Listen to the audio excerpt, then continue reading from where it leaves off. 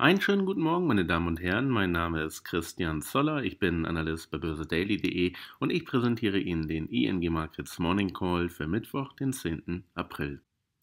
Gut, starten wir wieder mit dem Rückblick auf den Vortag. Zunächst einmal, äh, wir sind hier im Bereich, im Long-Bereich ne, zwischen der dunkelgrünen und der hellgrünen Markierungslinie zwischen 11.900 und 11.940 Punkten in den Handel gestartet und dann im weiteren Handelsverlauf noch einmal hochgeschwenkt hier Richtung 12.000 Punkte, konnten 12.000 Punkte aber nicht mehr überwinden. Der Widerstand, der ist zu stark aktuell.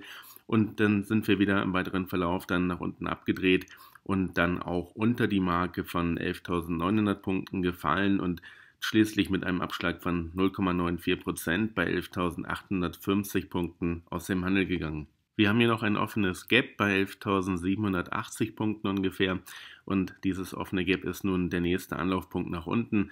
Bei einer weiteren Abwärtsbewegung sollte dieses offene Gap zunächst geschlossen werden und das wäre dann auch das nächste Anlaufziel hier auf der Unterseite. Gut, die neuen Markierungslinien für den heutigen Mittwoch lauten auf 11.770 Punkte dunkelgrün, dann 11.840 Punkte hellgrün. Das heißt, das offene Gap befindet sich genau hier im Long-Bereich für den heutigen Tageshandel am heutigen Mittwoch. Der Short-Bereich befindet sich dann zwischen 11.920 Punkten rot und 11.950 Punkten dunkelrot.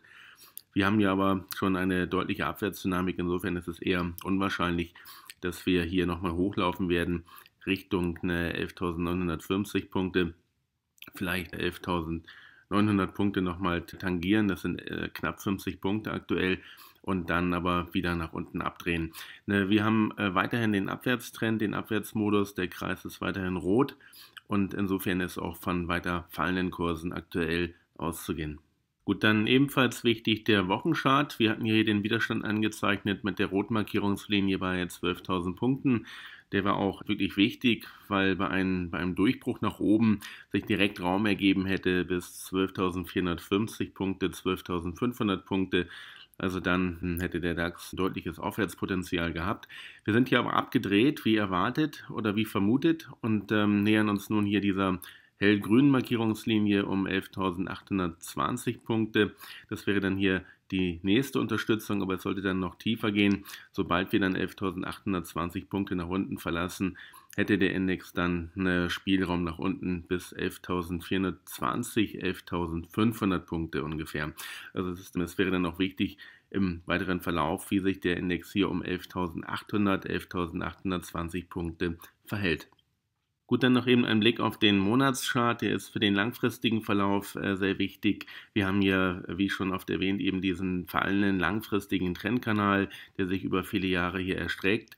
Und in diesen, an, diesen, an dieser Obergrenze dieses Trendkanals sind wir immer wieder nach unten abgedreht im DAX.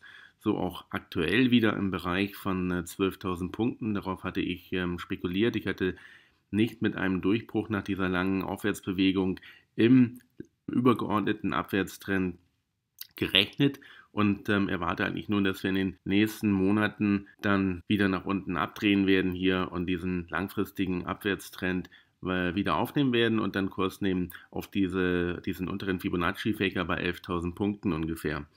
Solange wir uns nun unter 12.000 Punkten aufhalten, ist im großen Bild eher wieder mit fallenden Kursen zu rechnen. Auch ähm, Korrekturen oder Anstiege nach oben sollten daran nichts ändern.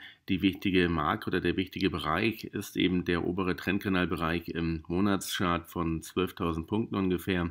Und hier sollte der Index dann langfristig wieder nach unten abdrehen. Dann sind wir wieder durch für heute. Ich wünsche Ihnen viel Erfolg im Handel und ich melde mich dann am morgigen Donnerstag wieder mit dem ING Markets Morning Call.